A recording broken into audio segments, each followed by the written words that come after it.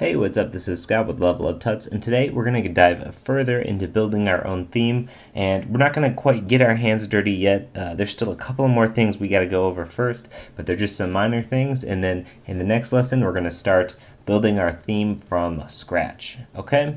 So, what we need to do first is we need to go over a little bit about layouts and blocks.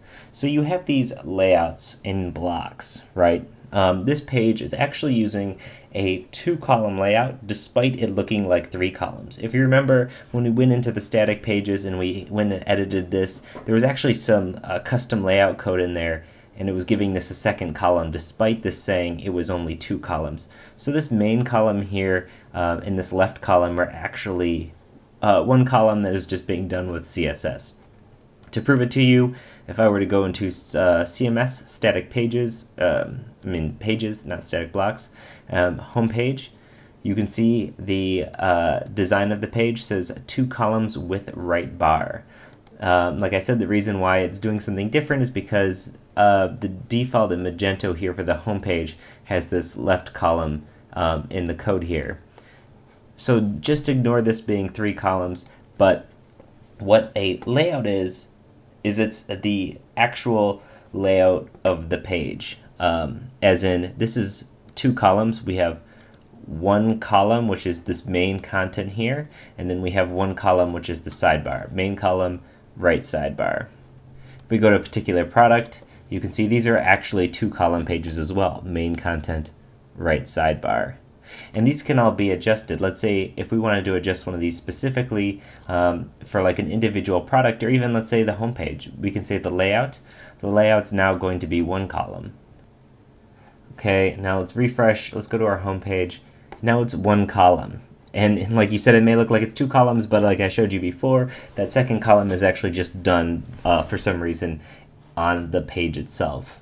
Um, so this is how you change the layouts in Magento, right? So you have these different layouts by default.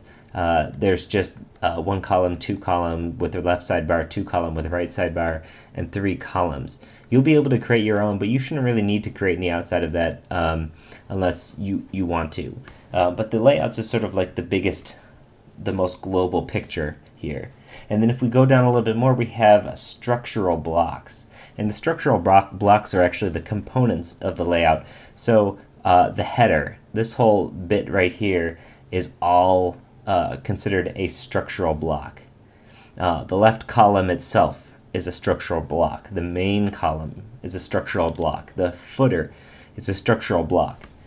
And then the content blocks are those blocks within the structural block. So let's say this best-selling products, this is a content block. Uh, this poll is a content block. Recently viewed products, it's a content block. Okay, so this is going to be very important to understand once we get into sort of the XML stuff and uh, being able to change and move these around, okay? We also have something called widgets, right, which are dynamically uh, created pieces of content um, that would be blocks on the site that are sort of dynamically. So this popular tags is considered a widget, but it's a content block. So these uh, blocks of things can be uh, not only just you know a static image, but it can also be a widget, which we did go over in a previous lesson, but I'm sure there's always more to go over. So let's talk a little bit more about themes. I'm going to show you something real quick too. Um, let's talk about this rollbacking that we talked about in the last lesson. So if you don't have any particular files in uh, your theme, let's say your theme's name is default and then of course it has the default theme in here. If you don't see, um, you know, if you don't have a particular file in here, it's going to go, well, okay, let's put it this way. Let's look at the modern theme. If there's not a particular file in the modern theme, first it's going to fall back to the default. It's in your theme package. And then if it doesn't find it in here, it's going to fall back to this default or your base default. The lesson here is you're not going to necessarily want to ever edit any of these base default theme files. Because let's say uh, you mess something up, there's really uh, you know not a whole lot of ways to fix it if you can't go back to these default files that you have here. So really the best practice would be to create your own theme and then just go from there. Okay?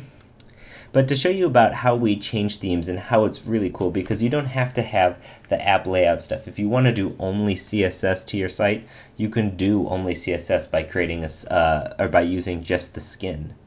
So if we look in our, uh, we're in the folder structure we're in right now is in skin, front end, and then default. Uh, you'll notice that Magento has all these themes installed by default with our site. So let's actually show you how you can enable one of these themes and it'll get you a better idea. So in the next lesson, when we start to create the bones of our own theme, you'll know exactly how to enable it, okay? So if we look here, we have modern uh, blue blank default. Let's see what the blue theme looks like, and we're just going to use the CSS for the blue theme. We go to our site and we go to System, Configuration, and then now down to uh, Design here on the left, you'll see that we have our current package name and then themes. In your theme, it's allowing you to do different things here. We can uh, CSS, just the layout, change the default. Uh, we're going to, right in here, we're going to type in blue, because if you remember, there was that blue theme in our skin file. So let's click Save. If we have this in here, it saves everything. It should be using the blue theme variant. So let's go to our page and let's refresh and you should see a new theme. So here, here's exactly what can be accomplished with just CSS, and it really changes the whole look of the site here. You can do a whole lot more than just this, uh, but this is a nice way to change it up. And, you know, let's say this this fits the version of the company that you're looking for, you might not have to do a whole lot extra. You can overwrite some stuff from this. And in the next lesson, we're going to start creating our own theme. I'm going to show you some cool developers tools and we'll get into some neat stuff, okay? As always, this is Scott with Level Up Tuts. If you have any questions, leave a comment in the video below. Hit us up at Twitter, Level Up Tuts, or you can hit me up at Twitter at S. Let me know what you're thinking. Uh, thanks for watching. Bye.